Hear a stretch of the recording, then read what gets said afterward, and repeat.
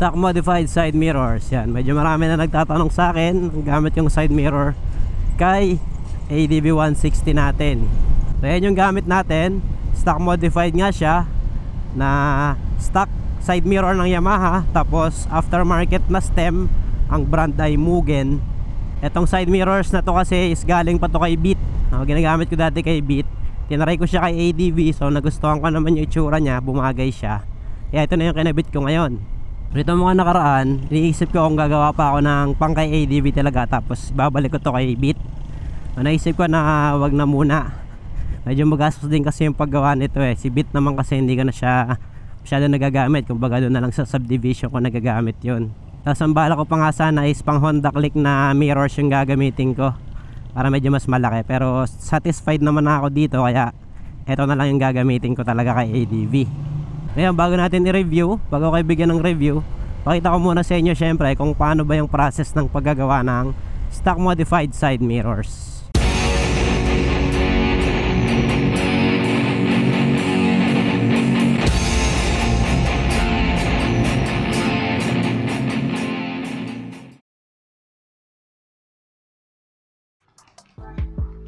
Ayan, yung mga side mirrors natin. Ito yung gagamitin natin kasi gusto ko yung tsura nito eh.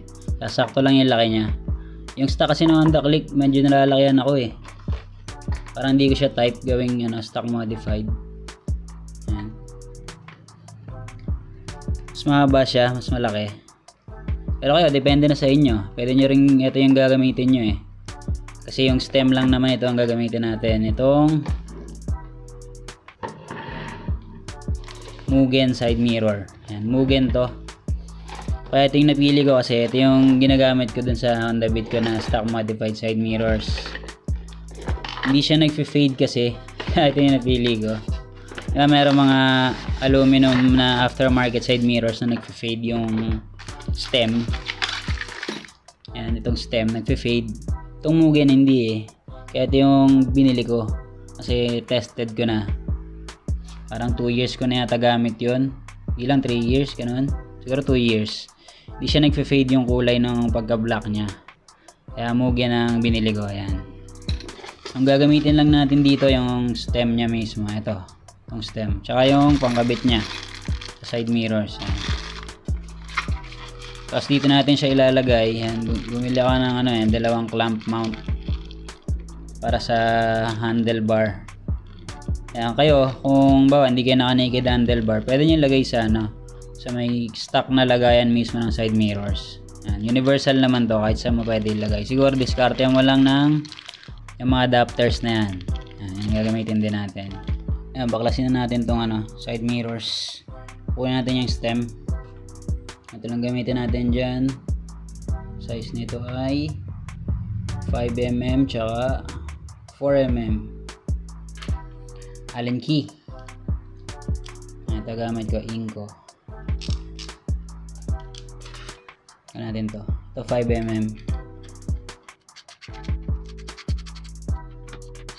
Ayan, tabi lang natin dyan. Hindi natin isa.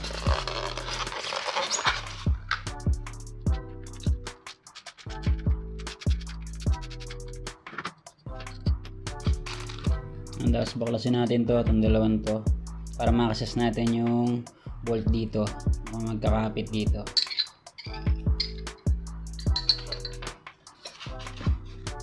four mm allen key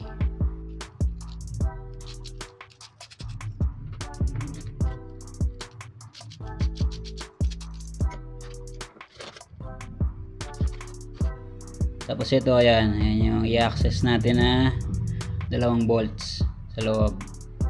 Ayan, tapos subukan natin. 5mm na allen key mahaba. Ito pa L2 eh. Ayan, saktong sakto lang makapasok na sa may bolt ayan, para maluwagan natin yan itong PPT natin ayan, yun ang puwersa dito ayan, mahigpit to eh ayan, maluwag lang dahil lang pala tanggal na oh. yung Yan, magamit natin yung mga bushing na yan. Yan, ito mismo yung kailangan natin. Ito mismo. Doon pala sa mga ano no, mga naka, gumagamit ng ganito, tapos tumuluwag yung ganito nila. Ito lang yun. Kapag umiikot-ikot yung side mirrors nyo, ibig sabihin na maluwag tong bolt na to na nag-hold dito sa dalawang piece. Yan. Iikpitan nyo lang to. Pero kailangan nyo ng mahaba na allen key. Meron kasing may iksi na ganito, hindi aabot. Ito yung mahaba, saktong-sakto lang siya. Oh. Kaya naluluwagan natin. Tanggal na rin yung isa. Kaya, higpitan nyo lang yan pag umiikot-ikot yung side mirrors nyo na ganito. Ganitong style ba. Ito, Mugen. Yan, tanggal na. Ito, feeling ko ito na rin gagamitin natin bolt dito. Mukhang sakto na to eh. Na siguro lagyan natin dito ng isang ganyan. Tapos dito yung bola nung ano, nung side mirror ito. Yung bola na yan. Pabutasan natin yan. Tapos palagyan natin ng thread para pasok dito. Tapos putol natin. Yan, ganun ginawa ko dun sa kay Honda Beat. And assemble muna natin para may idea kayo ng setup niya. Ito yung mga kasama ng Mugen. Meron na palang kasama tong ano, mga Allen key. Yan. Yan, pero okay lang, nagamit naman na natin yung Allen key natin na. Yan, tapos ito, lagay natin dito. Ganun lang din naman yung setup nito. Kagaya ng mga ano, aftermarket na ganito yung style. So ito, lalagay natin. Yan. Maipit dito. Tapos natin ng bolt. May kasama rin yung bolt. Ito, ayan. Gamitin na natin tong kasama.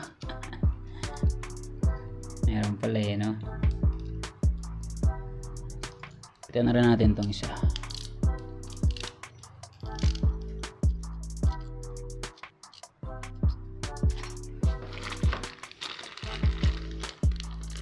Yan, tapos lalagay natin yan dito. Sa clamp or sa ano nga sa stock na lagayan. Yan, bali kung bawa ito yung stock na lagayan yung side mirrors. Lagyan nyo lang yan dyan. Yan, pwedeng rekta na kung sakto yung taas pero yung sa akin kasi masyado mababa kaya gumamit ako nito. Dalawa actually nilagay ko eh. Para hindi sumasabit yung gloves pagka ano. Pero sukatin na lang din natin pagkakabit na natin. Ang side mirror adapter. Yan, mura lang naman to. Nasa 20 pesos lang. 10 pesos. Ang bali dyan yan. Itong size ito 14mm tapos lagay natin to. Yan, pwedeng dalawa pwedeng isa depende sa taas kasi hindi sasabit yung kamay nyo sa ano pag ginanya yung manibela eh, sa akin sumasabit yung gloves eh kaya ginawa dalawang ganun Ah, pero nga sukatin natin. So itong Mugen side mirrors may kasama na yung mga ano. Kasama na siya mga bolts. Ayan. Pili na lang kayo. Meron diyang reverse eh. Ito reverse to. Para sa Yamaha. Ito pang Honda. Ayan. Ayan, bali ganyan magiging itsura niya. Tapos dito yung side mirrors natin. Yan, ito yung side mirror. Ito. Para makabit natin yan, kailangan nating i-modify yung bola nito. Yan, yung bola nagkakapit dyan. Kailangan mailagay natin yan dito. Gagawin naman natin dyan. Tanggalin muna natin to. Hanap lang kayo ng kasukat mismo ng tornilyo para hindi kayo masisiraan ng tornilyo no at sakto. Lugan natin unti-unti lang. Ingatan yung lugan ng sobra to kasi mahuhulog yung ano nyan yung nut nyan sa loob.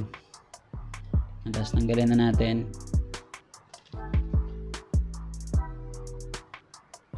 Tandaan lang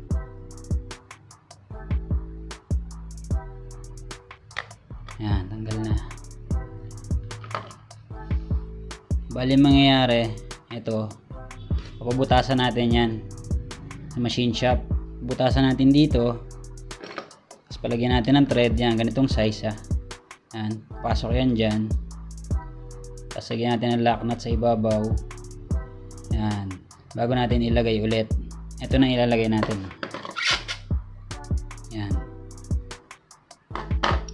para mailagay natin to ngayon punta muna ako ng machine shop tapos pabutasan natin to ano itong bola actually dalawa to. Yan ang galing ko muna to isa. Yan tanggal ko na. Dala natin sa machine shop. Tapos pabutasan natin. Papalagyan natin ng thread. So putol natin. Syempre dadalhin natin to. Ito ito ito. Yan para mapakita natin yung size ng butas siya yung thread na gagawin. Yan dapat fit dito yan halos sakto lang oh. Na rin gamitin natin bolt. Rekta kabit na to pag nababutasan natin. Saka natin ilalagay yung, yung mga side mirrors. Yan. punta tayo sa machine shop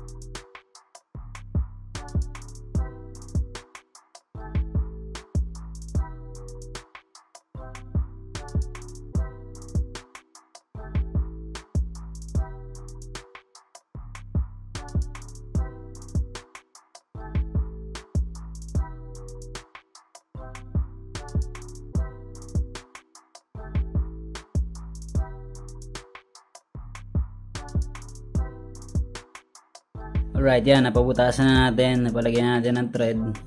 Yan, ito na. Yan. Ganda ng pagkakagawa, no? Linis. Assemble na natin to sa side mirror natin. Bumili rin pala ako ng ano, lock nut. Para ma walang katanggal-tanggal. Tapos lagyan pa natin yan ng ano, thread locker. Lock nut tsaka thread locker. Yan yung lock. Meron siyang rubber sa ibabaw. Para pag nag-vibrate hindi siya luluwag. Ano? Naman yung thread locker natin. Ayan. Medium strength. Yan, pwede ring permanent dito. Kasi wala naman ng baklasan to eh. Pero ito yung meron tayo. No? Kabit na natin sa stem. Ito yung bolt niya. Huwag nyo kalimutan yung bushing.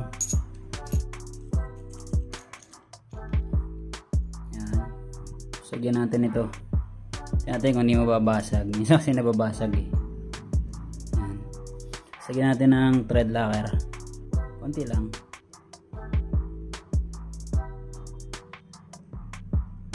Ah. Napadumi. Na natin tong pinabutas natin na ano, bola.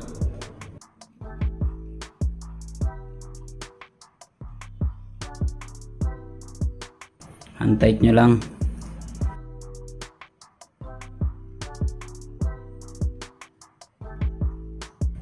At saka natin lagyan ng lock nut. 10mm to. Hawakan nyo lang to para makikita nyo.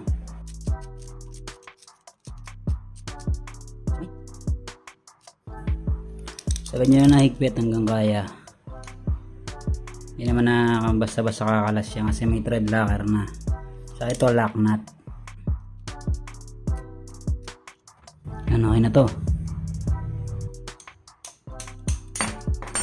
Ayan, ganyan magiging itsura niya. Nakabit na natin yung side mirror sa stem. Huwag nyo nang lulugan. Okay na yan.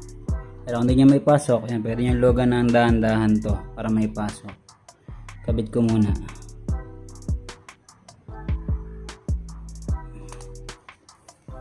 Ito medyo mahirap to. Tsagaan ang kailangan dito.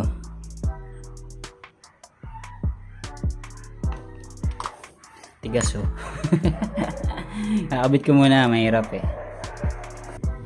Mahirap ikabit.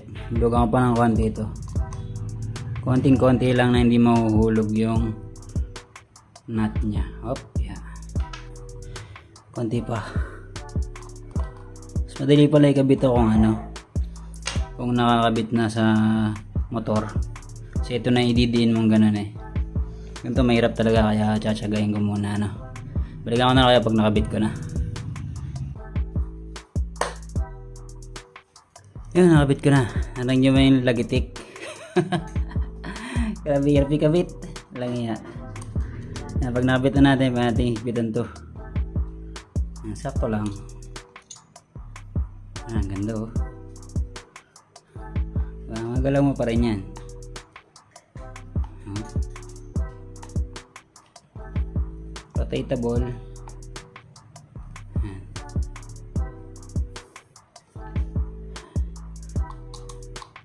Wait ko muna isa.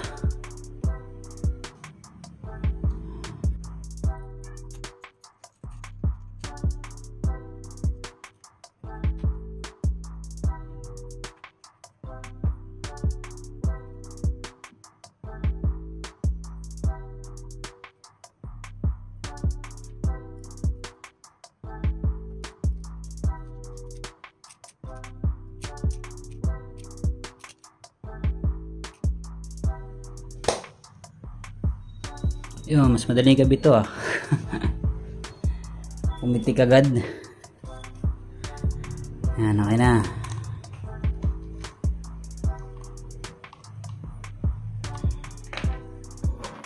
Yan natin ng konti ito.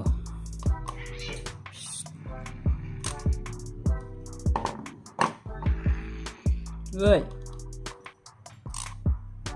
Yan, okay na. Sarap na higpit lang.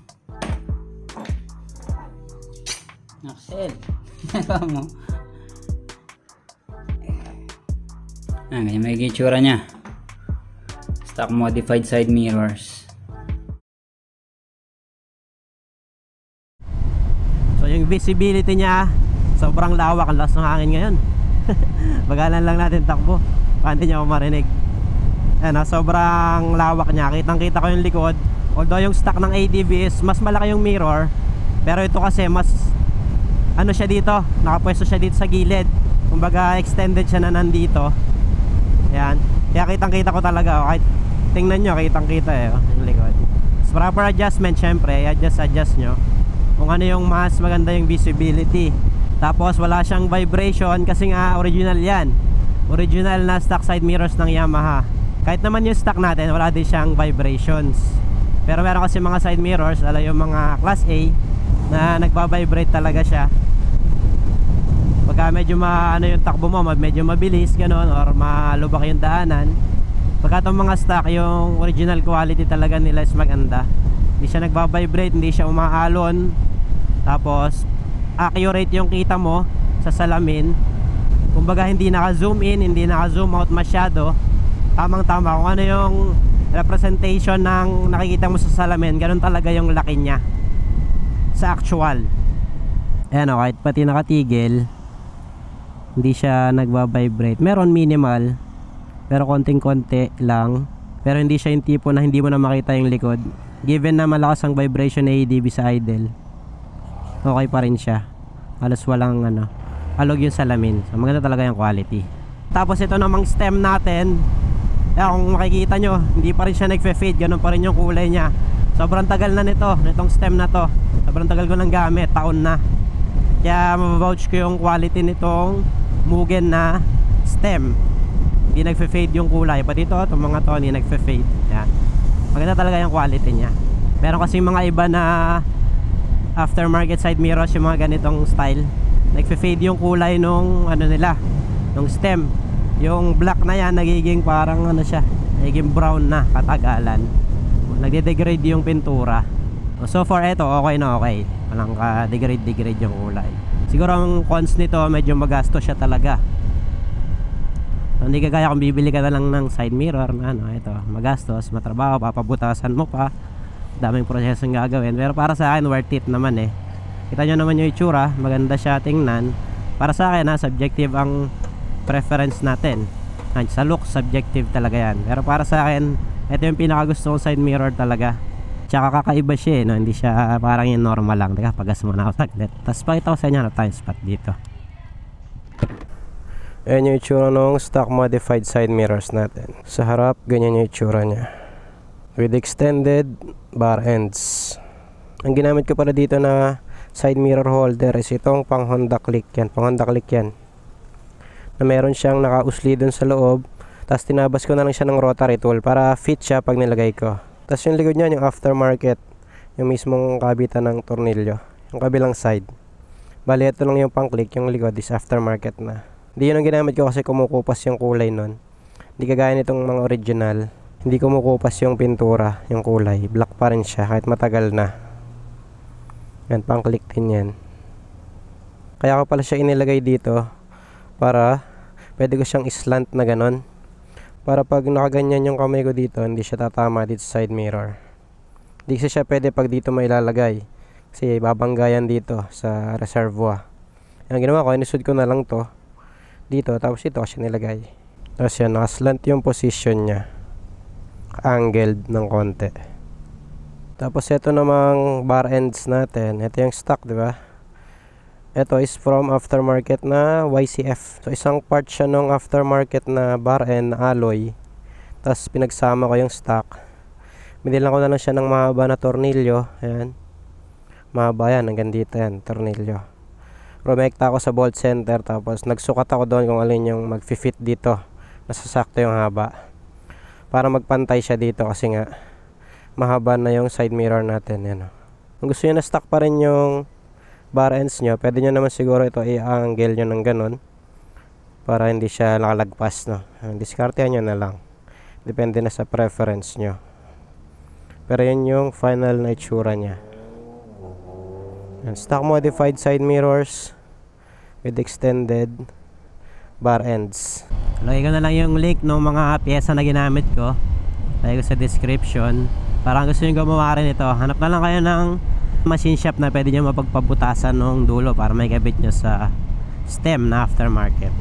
Kasi yan, optional nga kung gusto nyo din ng extended na bar ends. Kaya meron na akong may send sa mga nagtatanong kung ano yung gamit ko side mirror dami kasi nagtatanong talaga so send ko na lang itong video na to para makita nila kung paano ko talaga ginawa kung paano yung process nung paggagawa ng stock modified na side mirrors